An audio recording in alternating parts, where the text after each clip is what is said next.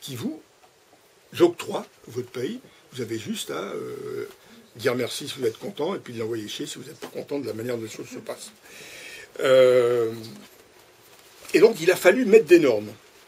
Et les normes, euh, c'est ce qui a, c'est ce qui finit de tuer l'agriculture. je vais prendre quelques exemples. Hein. on a eu deux plans PMPOA, donc c'était les programmes de maîtrise de pollution d'origine agricole. On voit bien que la pollution agricole n'est pas issue des paysans, elle est issue du développement du modèle industriel. On a imposé aux paysans la mise en place de normes, c'est-à-dire qu'il fallait couvrir les stabules, il fallait euh, faire un certain nombre d'investissements euh, trous du champ pour maîtriser la production. C'était essentiellement improductif, ça s'adressait à tous les paysans, et c'était le paysan qui devait le financer. Les conséquences de ça, euh, c'était la maîtrise de la pollution. Vous savez qu'en Bretagne, il n'y a plus d'algues vertes et l'eau est de bonne qualité. Hein, c'est effectivement le résultat des PMPOA. Nous, ce qu'on constate dans le milieu paysan, ce qu'on a constaté, c'est que ça a été une opportunité pour un certain nombre de gros paysans qui, obligés d'investir, eh ben, s'ils avaient 50 vaches, ils investissaient pour 60. Comme ça, ils en prenaient 20 de plus, et ça permettait effectivement de grossir le truc. Pour un certain nombre d'autres euh, paysans endettés, c'était, c'était je veux dire, l'investissement de trop qui obérait de manière définitive les situations financières et qui faisait basculer les paysans dans la difficulté. Et donc cette norme-là, les PMPOA, ça a été un outil de restructuration laitière. Alors, à la louche, hein, les déclarations PAC, euh, je ne vous explique pas, euh, maintenant on est contrôlé par drone, hein. c'est-à-dire que si vous élaguez pas vos arbres, vous avez 10% de la surface parce qu'effectivement euh, vous avez triché. les cahiers de fertilisation, où vous devez décrire la totalité des engrais que vous mettez sur l'exploitation. Euh, pour les petits producteurs qui font de la vente directe, l'obligation d'avoir des laboratoires de transformation aux normes et quasiment des normes industrielles, l'identification des, animaux, le puçage des animaux. Bref, la totalité des désordres organisés par le modèle industriel était ramenée sur la tête des paysans qui devaient effectivement se conformer aux normes ou investir pour pouvoir euh, toucher les aides. Euh, donc toutes ces décisions étaient des décisions de l'État, acteur du, complexe agro-industriel, au service de l'agro-industrie. De, Et donc, on pourrait se dire, si effectivement il y a eu des scandales sanitaires, que c'était indispensable de mettre des normes en place. J'ai relevé les scandales sanitaires sur les 20 dernières années, j'en ai totalisé 17, je crois. Il n'y en a pas un d'une exploitation agricole la totalité des, des, des, scandales sanitaires viennent de l'industrie, de la transformation ou de la grande distribution. Et qu'est-ce qu'on constate? C'est que lorsque vous avez des, industriels qui fraudent ou qui, euh, qui sont à l'origine de scandales euh, sanitaires, on peut dire que c'est en gros le laxisme qui préside au règlement du problème. Lorsque c'est un paysan qui effectivement euh, ne correspond pas aux normes, c'est Rémi Fraisse, c'est euh, Jérôme Larron, c'est ces gens-là qui effectivement euh, soit sont embastillés, soit sont assassinés. Donc voilà, la, première, euh, le, premier élément de, maltraitance vis-à-vis des paysans, mais ça, ça a des répercussions sur les paysans, puisque ne faut pas croire que, que la, pression mise n'a pas de n'a pas de répercussions, on avait appelé psychosocial sur le paysan. Ça crée chez les paysans un certain nombre de, choses. Hein. Euh, d'abord de la paupérisation et de la précarité financière, ce qui n'est pas très, très confortable pour vivre au jour le jour. Ça crée de l'isolement. Euh, la disparition de 3100 ou 5000, ça éloigne les paysans les, uns des autres. Euh, ça crée de la perte de l'image de soi, parce qu'effectivement, lorsque vous étiez polyculteur élevage, vous aviez une connaissance un peu plus large du métier de paysan. Lorsque vous devenez producteur de lait, ben, ma foi, vous êtes spécialisé dans un truc, euh, ça, fait, ça, crée une perte de repère par rapport à, l'image du métier et puis à ce qu'on nous impose de faire. Euh, c'est une disqualification donc, du métier, c'est une perte des savoirs et savoir-faire paysans. C'est l'effondrement des savoir-faire paysans, le modèle industriel, c'est ça. Et puis, euh, c'est l'aliénation des paysans quand même au regard de, l'agro-industrie. Et donc les conséquences finales de cette affaire, c'est le burn-out et le suicide. Et on nous a dit euh, que ces problématiques psychosociales, elles vont émerger dans les années 2000. Mais non, euh, elles sont, je veux dire, consubstantielles au développement du modèle agro-industriel. C'est-à-dire que dès 73, vous avez une psychologue du travail qui s'appelle Michel Salmona, qui a interpellé le ministère de l'Agriculture en disant attention, ce qui est en train de se passer en agriculture est violent. il y a beaucoup de souffrance au, au, travail. Et en 77, elle a mis en place un groupe qui s'appelle Travail et santé dans l'agriculture, euh, qui avait vocation, effectivement, à interpeller le ministère sur ces questions-là. Mais ça a été un silence de plomb. Euh, euh, la première émergence de ces questions-là en agriculture, ça a été 2014. Vous avez un cabinet Technologia, qui est un cabinet qui est spécialisé dans la souffrance au travail, qui rend un rapport sur les questions de la souffrance au travail des paysans, et qui nous dit, vous avez 60% des paysans en, travail compulsif, vous en avez 35% en travail non, 35% compulsif, 60% excessif, et puis 24% en burn-out. Et puis, un petit peu plus tard, 2015-2016, euh, l'INVS, l'Institut national de veille sanitaire, nous annonce que euh, tous les deux jours et demi, vous avez un paysan qui se suicide. Et puis, la cerise sur le gâteau, c'est 2009, la, la, MSA, qui pour le coup nous dit non, non, c'est un tous les jours qui se suicide. Et c'est la situation aujourd'hui. Et quand on ajoute aux paysans les, salariés de la production, c'est deux suicides à la production par jour aujourd'hui dans le milieu agricole. Donc voilà. Et même sur ce terrain-là, l'État qui... Euh, comment je vais dire ça Parce que faut être gentil, parce que je suis filmé.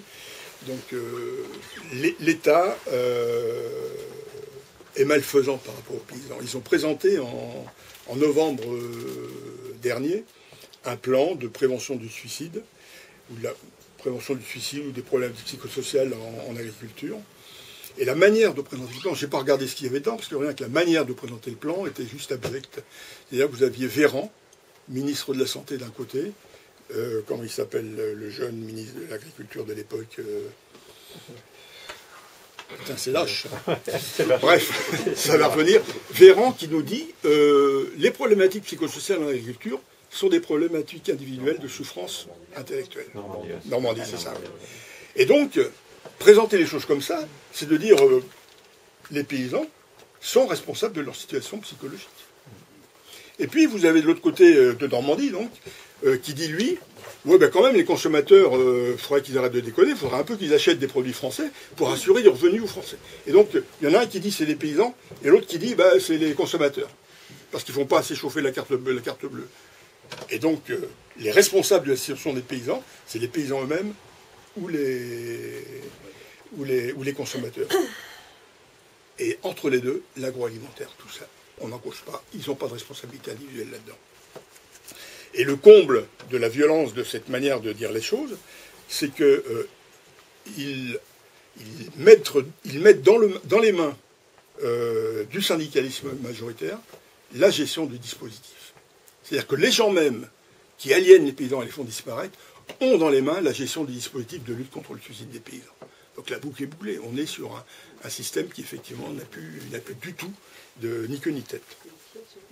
Un, autre exemple de cette proximité de, de l'État avec, euh, avec le complexe agro-industriel, c'est euh, la distribution des fonds CASDAR. Donc rapidement, hein, c'est le compte d'affectation spéciale développement agricole et rural c'est des fonds qui sont prélevés sur le chiffre d'affaires des exploitations agricoles par l'État et qui sont redistribués euh, à des structures de développement. Et donc, dans les structures de développement, vous avez deux, grands groupes.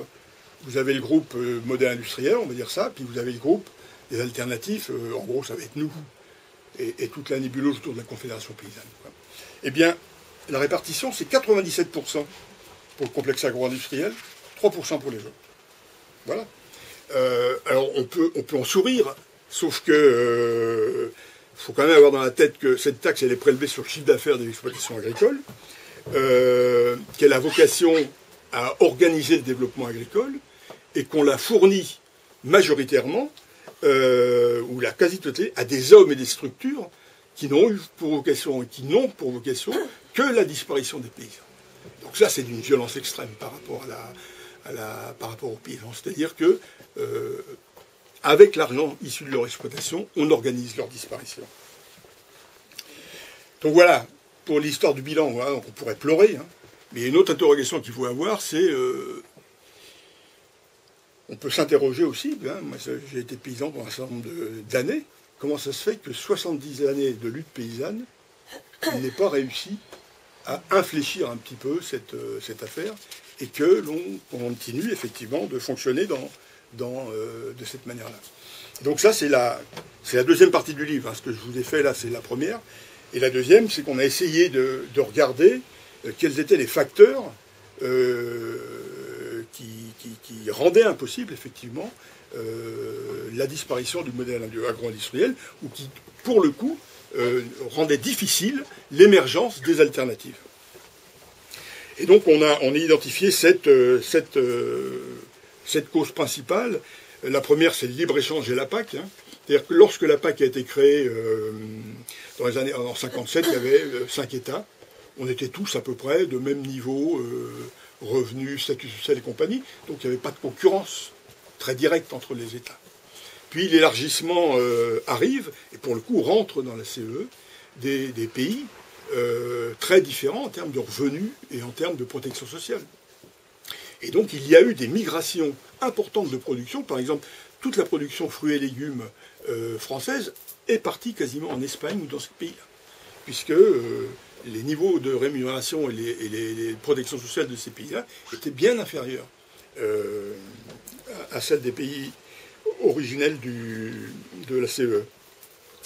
Effectivement, sur cette période-là, l'État et la FNSEA, euh, grand cri, euh, on nous fait du mal, on fait disparaître notre agriculture. Il faut juste avoir en tête que et la FNSEA et l'État français, il y a eu un référendum en 2005 sur le sur le Traité constitutionnel. tra- traité constitutionnel et que euh, la totalité de la population française a dit non. Et que euh, M. Sarkozy a trouvé très intéressant de passer ça par le Congrès. Et donc, effectivement, par le Congrès, euh, on a voté le traité constitutionnel. Et dans ce traité constitutionnel, il y a l'article 53, hein, qui, qui empêche effectivement euh, la régulation des marchés euh, autre que par le marché. Et donc, on aurait pu avoir une harmonisation si la Commission européenne avait porté ces questions-là. On aurait pu avoir une harmonisation politique. Mais comme le- le- l'article 53 l'empêche, eh ben, l'harmonisation, elle se fait par le marché, et dans ces cas-là, elle se fait à la baisse.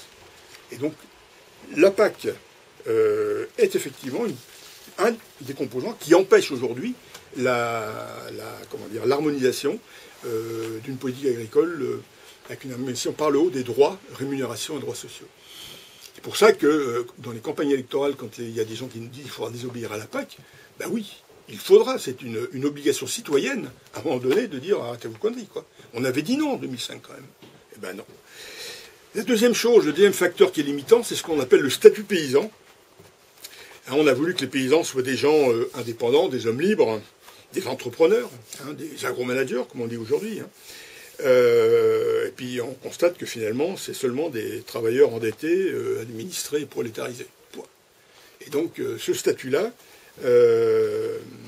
si on compare aux salariés, les paysans travaillent comme le salarié pour un- une entreprise, sauf que le paysan, il supporte l'endettement et il supporte la non, la, la non, non- non-rémunération.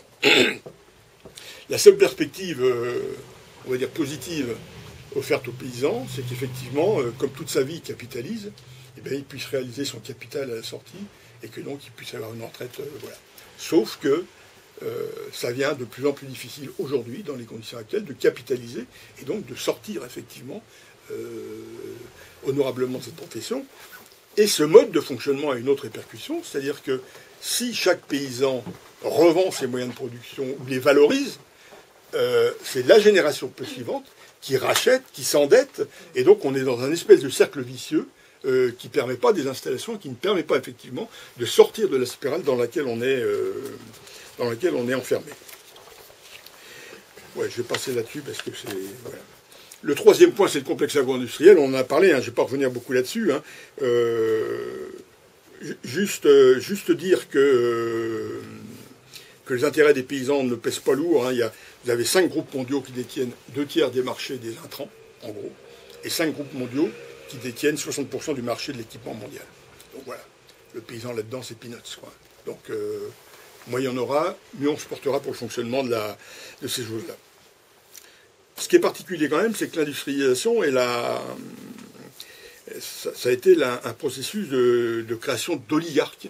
Aujourd'hui, vous avez comme ça des, gens qui, euh, qui règnent sur les, politiques publiques, alors qu'ils ne sont que des, euh, gens de, l'économie. Un exemple hein, qui a été caricatural à une époque, hein, je ne sais pas si, enfin ça vous ça parlera peut-être pas parce que c'était très, très interne aux paysans, mais euh, on a eu une période, un président de la FNSOA qui s'appelait Xavier Belin, et pour le coup, il, résume bien les problèmes auxquels on était confrontés. Xavier Belin, président de la FNSEA, de 2010 à 2017. Xavier Belin, euh, président du groupe Avril. Alors le groupe Avril, ça vous dit peut-être pas grand-chose, Sophie Protéol, c'est une espèce de pieuvre euh, dans laquelle euh, est mixée la totalité des, productions d'huile, de colza et protéagineux compagnie française, propriétaire de, grandes entreprises d'aliments du bétail type Sanders, propriétaire d'accouvoirs, enfin voilà, c'est une pieuvre agricole. Et donc Xavier Belin, en même temps que était président de la FNSEA, il était président de la, comment dire, du groupe Avril de 2000, de 2000 jusqu'à sa mort. Et puis, il faisait partie de ces visiteurs du soir qui allaient voir François Hollande dans son cabinet, dans son palais de l'Élysée. Donc il était sur le champ de l'agro-industrie, sur le champ idéologique du modèle agro-industriel et sur le champ de l'État, puisqu'il était conseiller du, président. Donc, il, a représenté ce qui pouvait être la, quintessence du complexe agro-industriel en ayant les pattes sur les trois piliers.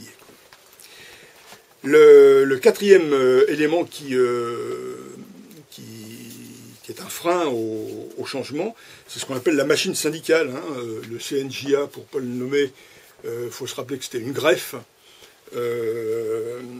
moderniste issue de la JAC dans les années 47 sur un, vieux corps FNSEA euh, des milieux agraires de l'époque euh, et qui ont pris le pouvoir à la FNSEA. Euh, et il nous explique qu'ils ont fait tout ce qu'ils pouvaient hein, pour accompagner le développement, pour défendre les paysans, mais que le contexte ne permettait pas de faire mieux. Or, le contexte, c'était eux. On a Michel de Baptiste, ça m'ennuie un peu de descendre des icônes, mais euh, c'est comme ça. Michel de Baptiste, qui a été le président emblématique, le premier, président emblématique de la, de la FNSEA, celui qui a co-géré la mise en place des, lois d'orientation de 60 et 62, disait euh, à la revue Entreprise, donc en 68, six ans après les lois d'orientation, donc on était juste dans la mise en place du truc.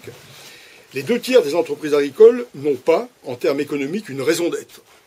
Nous sommes d'accord pour réduire le nombre d'agriculteurs. Donc le syndicalisme lui-même, à cette époque-là, disait qu'il fallait que les paysans disparaissent. Donc voilà. Et ils ont participé avec les gouvernements successifs, euh, que ça a été euh, les gens de droite, les gens de gauche, euh, parce que là-dessus, il n'y a pas eu de, différence en termes de, traitement des paysans, à l'élimination progressive des paysans, et puis de manière cynique, lorsqu'il y avait une flambée de colère, ben, ils accompagnaient parce qu'il fallait quand même bien être là. voilà. Et donc, ces gens-là sont compromis, effectivement, euh, dans la situation, ils avaient dans les mains la totalité des outils de gestion des politiques agricoles. Ils avaient les structures administratives, alors les CDOA, ça vous dit pas grand-chose, mais c'est des, commissions administratives qui gèrent les installations, les, octrois de prêts, tous ces trucs-là. Ils avaient la SAFER, ils avaient la banque, par le Crédit Agricole, ils avaient les assurances par le biais de Groupama, ils avaient euh, les coopératives par le biais de Côte de France et des coopératives, ils avaient euh, la CCMSA pour la protection sociale, ils avaient la totalité des leviers. S'ils avaient voulu faire quelque chose, ils auraient pu. Rien, jamais. Et donc aujourd'hui, ce syndicalisme, enfin qui s'appelle comme ça, mais qui n'est pas un syndicat, ne font plus de défense des paysans.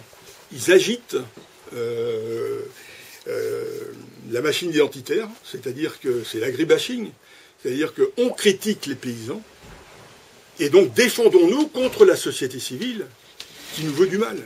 On n'est plus dans la défense d'un. On est dans effectivement la défense d'une corporation. Euh, et ça aboutit, ça, à la création effectivement de la cellule Déméter en 2019 avec notre ami euh, Castaner. Le cinquième point qui, pose problème, enfin qui bloque, c'est la, question de la machine agricole, qui est un impensé, un impensé politique, c'est-à-dire que autant aujourd'hui Monsanto, Bayer et compagnie font profil bas, ils se planquent, ils font pas de pub et ils tâchent de passer entre les gouttes lorsque ça se passe mal pour eux. John Deere, euh, International Harvester, enfin vous voyez les, grosses machines agricoles partout, dans tous les salons, et personne ne se cache. Personne n'a à dire que la machine agricole est responsable de la disparition des paysans. Eh bien, c'est un impensé politique, et euh, ce qui est le plus embêtant d'ailleurs, c'est que euh, cet impensé politique n'est pas qu'un impensé politique dans le système majoritaire, il est aussi dans les structures comme les nôtres un impensé politique. Et, une des raisons, c'est, enfin, je ne veux pas glorifier plus l'atelier paysan qu'il y a besoin, mais c'est la première structure qui a posé ces questions sur la table, elle n'a que 10 ans d'âge. Donc il n'y a que 10 ans qu'on commence effectivement à réfléchir de manière un petit peu euh, politique et, sensée à l'impact de la mécanisation sur le développement agricole. Et l'avant-dernier, c'est l'agriculture paysanne, donc c'est nous, hein, les alternatifs il faut quand même qu'on s'interroge sur, euh, sur comment on a fait pendant 70 ans à se battre contre le modèle industriel, et puis euh, tu pars en retraite et tu dis putain, il ne s'est rien passé pendant 70 ans. Donc euh, voilà. Et donc 70 ans d'alternatives n'ont rien freiné.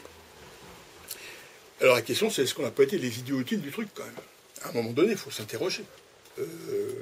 comment se fait-il que nous, on dit aujourd'hui que euh, vraisemblablement, euh, on a renoncé à une, perspective de, transformation sociale d'ensemble euh, du modèle et qu'on s'est attaché effectivement à des, à des comment on appelle ça, des arrangements. Pardon? Des arrangements. À des arrangements, des petits arrangements avec, avec le modèle agro-industriel. Voilà, c'est ça. Je vais prendre quelques exemples hein, pour, pour illustrer ça, euh, l'atelier paysan, je vais commencer par moi, par battre ma coupe. Hein. En gros, on forme 70, euh, 700 euh, personnes par an, en gros, à l'autonomie technologique. qualitativement, c'est du travail important qui mobilise beaucoup d'énergie et qui, vraisemblablement, est un travail important à produire. Et qualitativement, au regard des besoins, c'est peanuts. C'est-à-dire que ce qu'on fait dans le, dans la marée de ce qu'il faudrait faire, c'est rien. Terre de Liens. Vous connaissez Terre de Liens hein, C'est ces gens qui, euh, euh, ces gens qui ont organisé euh, l'épargne citoyenne pour permettre d'extraire du marché du foncier un certain nombre de, surfaces pour les, les mettre sur le marché du, de, l'agrobiologie. En 2020, Terre de Liens, ils avaient acquis 223 fermes et donc sauver 6400 hectares. Et eh bien, il faut savoir que euh, chaque année, euh, non, chaque semaine, pardon, chaque semaine disparaît en France entre 200 et 260 fermes. C'est-à-dire qu'en 20 ans, Terre de Liens a sauvé ce qui disparaît en France sur une semaine. Alors, c'est pas pour dire qu'ils n'ont rien fait, le, propos, il n'est pas là. L'exemple de Terre de Liens est important. Mais c'est pour montrer qu'effectivement, nos alternatives, euh, elles n'ont pas débouché de manière importante. Il faut qu'on comprenne pourquoi. Euh, les AMAP, hein, ça représente 250 000 personnes inscrites au soutien de l'agriculture. Ben, sur 70 millions de consommateurs, euh, voilà. Il faudra effectivement que la transformation soit bien supérieure à ça pour qu'un jour, effectivement, on puisse penser que les choses bougeront. Puis l'agriculture biologique, hein, qui est aujourd'hui l'alpha et l'oméga de la sortie du modèle industriel, euh, on a doublé la, surface euh, agricole, euh, on est à 10% de, producteurs. Est-ce que la consommation de pesticides a baissé? Non. Donc l'impact de l'agrobiologie sur, sur, le développement de l'agro-industrie n'est pas, n'est pas avéré. Par contre, le constat qu'on est obligé de faire aujourd'hui, c'est que le modèle agro-industriel, lui, est en train d'appréhender le secteur de la bio, et de manière très agressive. Euh, Biolay est en difficulté, hein, euh, qui fait de la collecte laitière sans transformation est en difficulté, et rémunère moins bien aujourd'hui ses producteurs de lait, il les rémunère quelquefois même d'ailleurs sur la, base du, lait conventionnel, alors que Lactalis, le géant mondial euh, privé de la collecte laitière, rémunère bien plus haut effectivement ses producteurs de lait. Mais on a l'habitude de un Lactalis, il euh, faut se rappeler, dans la région de Vitré-la-Guerre, il y a une quarantaine d'années, il y avait un GIE de collecte laitière. hein. Et le jour où Lactalis a dit, messieurs, on va vous mettre à genoux, ils ont mis à genoux. C'est-à-dire qu'ils ont refusé d'acheter leur lait. Les mecs, ils avaient leur camion. Et ils ont... Ils ont, ils ont coulé notre laiterie. Voilà. Que- Donc voilà, euh, lorsque le modèle agro-industriel décide à un moment donné de prendre la main sur un secteur de la production, ils le font. Et aujourd'hui, euh, on constate un peu partout dans le, monde de, de, la, vente, directe, hein, sur les circuits courts, une diminution effectivement des consommateurs sur ces circuits-là, parce qu'effectivement, la grande distribution a ouvert un peu partout des secteurs bio, euh, qui est de la bio-industrie, enfin issu de la bio-industrie, mais pas effectivement ça. Et bon, ça, ça va être un petit peu, hein, si j'étais mauvais, je dirais faut couper. mais la Fédération nationale de l'agrobiologie, là-dessus, n'a pas rempli sa mission, puisqu'elle a toujours refusé de choisir entre, euh, de porter le débat sur l'agro-industrie, sur la bio-industrie, pardon. Et donc, quand on ne porte pas les débats, eh bien forcément, politiquement, à un moment donné, on en paye les, les, pots cassés. Alors, la question, c'est quoi? C'est que, vraisemblablement, euh, plutôt que de réfléchir à, ce qui pourrait faire bouger les lignes dans le modèle de développement agricole, on s'est cantonné à la politique de l'offre. C'est-à-dire, eh ben, à côté de ce qu'offre le modèle agro-industriel, nous, on va offrir des produits à destination de gens euh, ayant un peu plus de revenus. Des politiques de niche.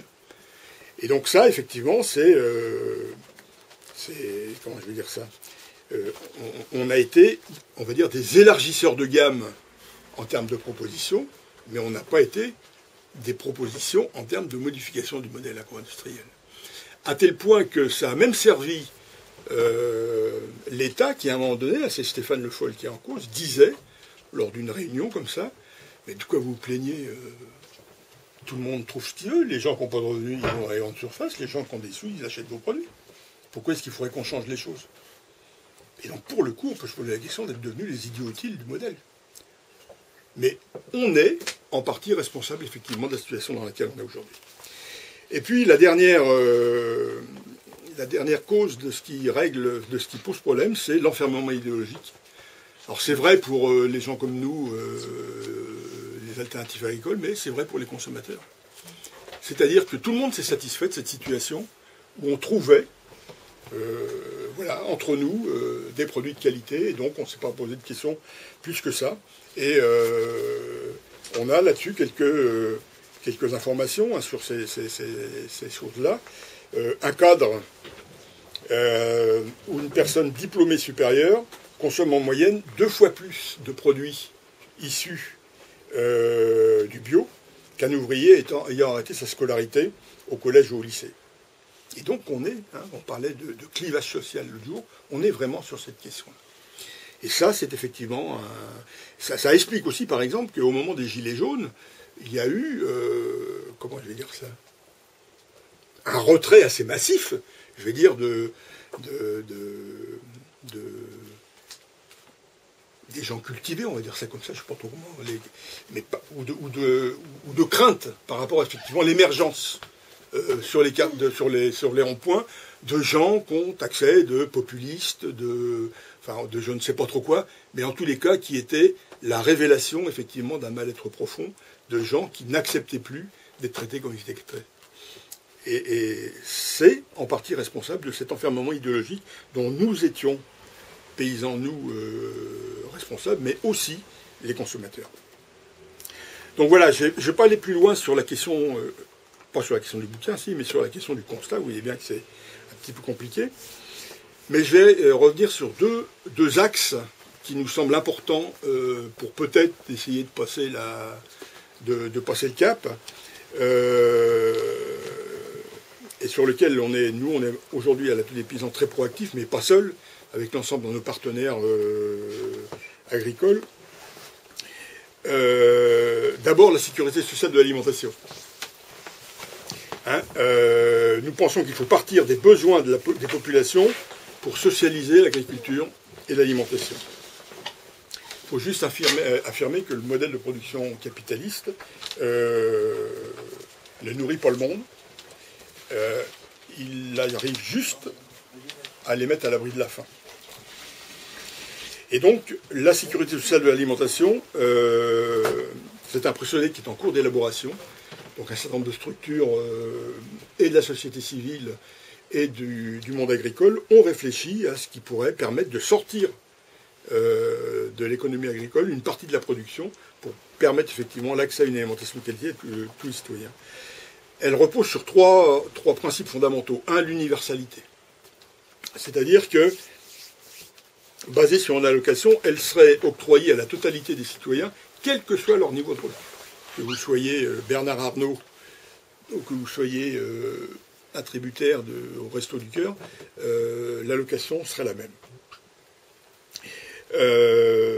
cette allocation, pour l'instant, elle a été estimée à peu près à 150 euros mensuels par personne dans une famille, qui est le niveau à partir duquel on peut commencer à choisir le, ce qu'on va manger.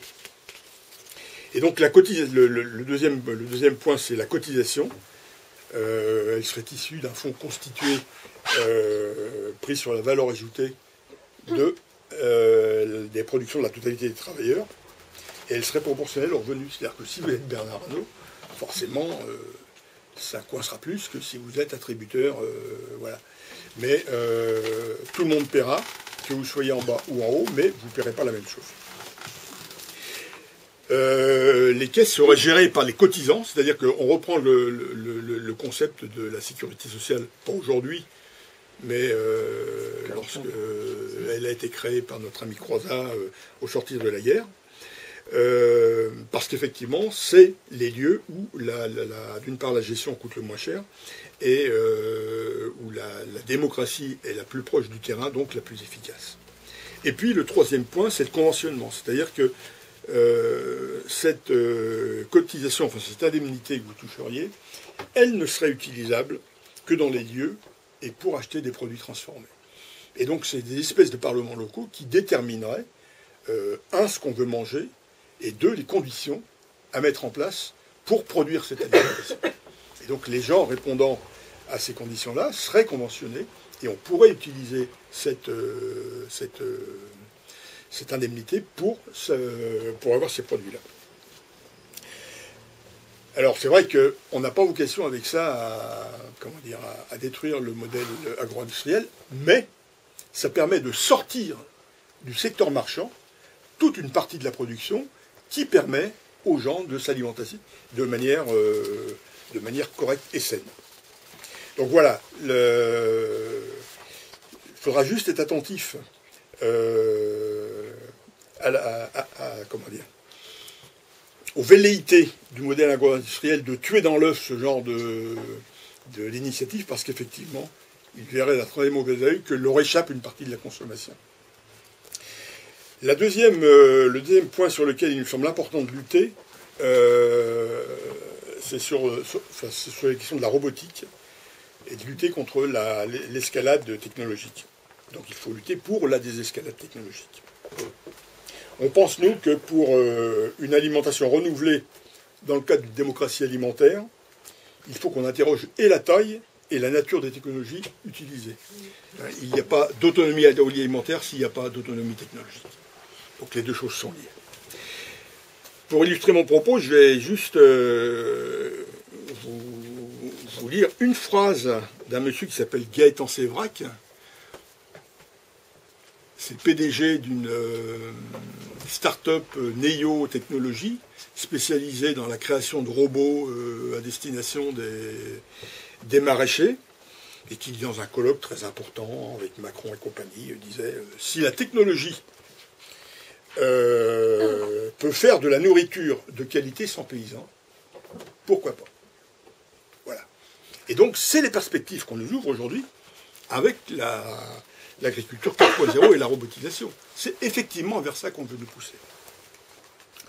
Et donc, nous, on pense que l'imaginaire dans lequel il faut qu'on se, se positionne sur ces questions-là, et la SSA, donc sécurité sociale de l'alimentation, et la lutte euh, contre les technologies, c'est un peu le même, euh, même positionnement que il y a 25 ans dans la lutte contre les OGM. C'est-à-dire que la particularité de la lutte euh, contre les OGM, ça a été un des luttes paysannes avec effectivement les citoyens mobilisés sur, le même, sur les mêmes choses. Ça a été de l'expertise, de l'enquête, pour déconstruire effectivement ce que les scientifiques nous expliquaient sur nous-mêmes. Et finalement, euh, ça a été de la désobéissance civile par les fauchages et compagnie, et finalement, on a gagné sur ce terrain-là. Eh bien, on pense qu'il faut se mettre dans la même disposition d'esprit sur ce terrain-là pour effectivement faire avancer ces, euh, deux thèmes. Je terminerai juste par un petit, euh, pour le coup, je vais rendre hommage à M. Macron sur ce qu'il nous propose en termes de, en termes d'investissement pour l'avenir. Bah si, quand même. du cœur. Euh, il vient de nous octroyer 2,8 milliards